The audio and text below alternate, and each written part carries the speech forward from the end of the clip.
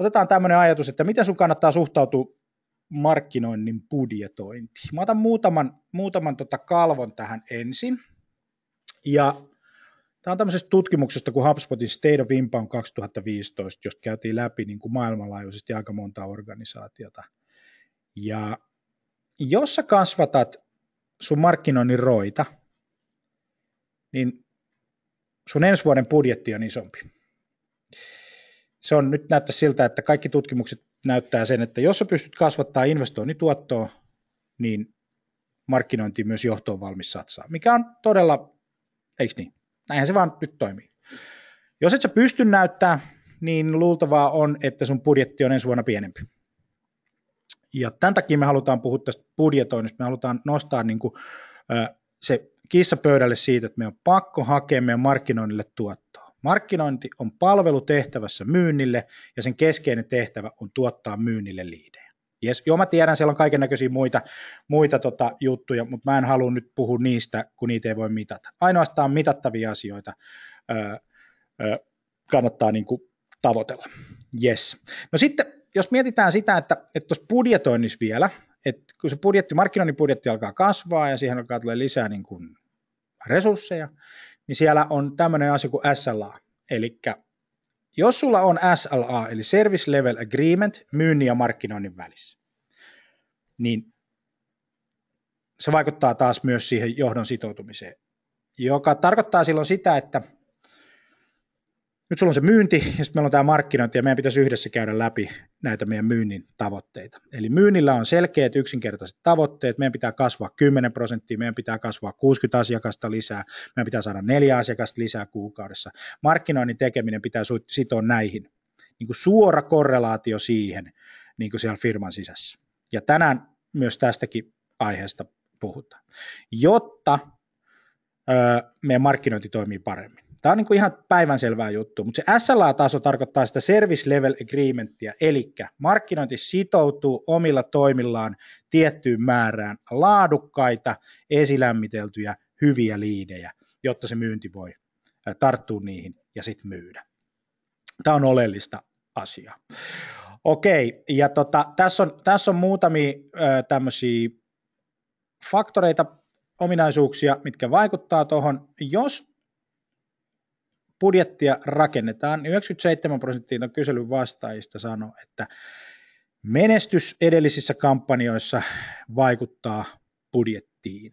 Taloudellisella tilanteella ei ole kauheasti korrelaatiota. Jonkun verran on, mutta se talouden, jos ajatellaan, että nyt taloudessa menee huonosti, markkinoinnin investoinnit ei toimi, tai ne, niitä pienennetään, niin se johtuu vain siitä, että markkinointi ei ole pystynyt todentamaan niitä omia investointejaan sille yritykselle kannattavaksi, jolloin johto on siinä tilanteessa, että me karsitaan niitä. Johdolla, johdon vaihtuvuudella ei ole merkitystä ja, ja tota, jonkun verran, jos sä epäonnistut siinä, niin saattaa olla vähän merkitystä, mutta ei kauhean paljon.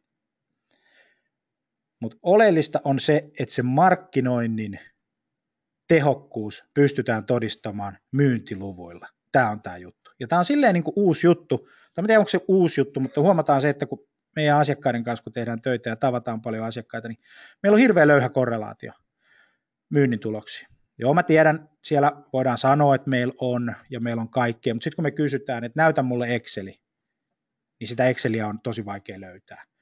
Ja me rohkaisemme koko ajan siihen, rakentakaa selkeä budjetointikuvio. Ja se budjetointikuvio pitäisi mennä aina siihen myynnin tavoitteisiin nähden.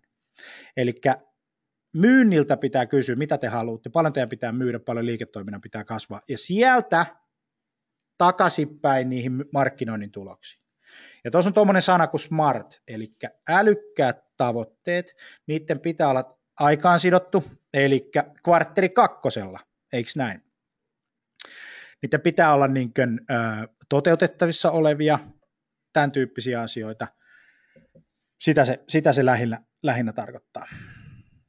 Mutta semmoisia niin tuloksia, että hei 10 prosenttia lisää uusia liidejä seuraava 90 päivän aikana.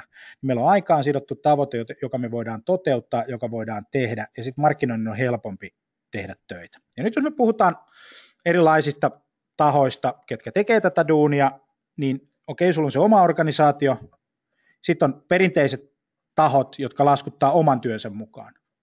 Ja nyt kun meillä on automatiikka, niin me ei tarvitse enää laskea tunteja, me ei tarvitse enää laskea tämän tyyppisiä asioita, vaan me voidaan ruveta laskemaan ää, tämmöisiä asioita kuin markkinoinnin tulokset. Eli kun sä meet sinne sun somekumppanille, sä meet sinne sun viestintätoimistoon, niin unoha kaikki tehdään tunteja, unoha kaikki X-blogimäärä, vaan kiinnität huomiota vain ja ainoastaan siihen sun smarttiin myyntitavoitteeseen.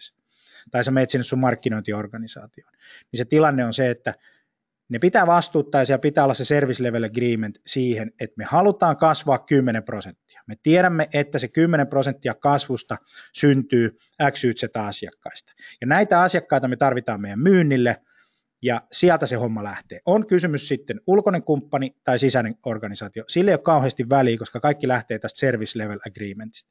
Tämän verran me halutaan ottaa tänään huomioon tässä budjetoinnissa. Eli ei tunteja, ei blogeja, ei hakukoneoptimointia, ei tämän tyyppisiä asioita, vaan pelkästään tuloksia. Hakukoneoptimoinnin ostamisessa oleellinen asia on se, kuinka monta hakusanaa teillä on top kolmosessa, tai sun, sun yrityksellä on top kolmosessa. Ja kuinka paljon nämä hakusanat tuottaa sulle luontaista trafiikkia ja kuinka paljon sä saat siitä trafiikista liidejä myynnille ja mikä on niiden laatu. Ja nyt kun sä meet ostamaan jostakin talosta, niin tämä on se juttu, mitä sun pitää ostaa. Niitä top kolmosia, niitä haku, joka menee sinne sisällöntuotantoon, näitä sun pitää ostaa.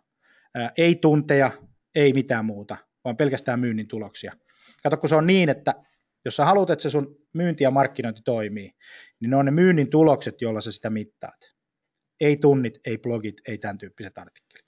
Saa olla eri mieltä, mitä mieltä sä oot, kirjoita chattiboksiin, niin tota, katellaan vähän.